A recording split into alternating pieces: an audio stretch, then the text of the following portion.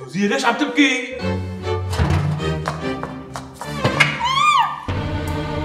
لك ليش عم تبكي؟ شو بدي أقول لك بعد ما سويت الغداء وجهزته ونقلته على الطاولة إجت القطة أكلته وهربت إيه، خلص بكرة بجيب لك قطة غيرها شيل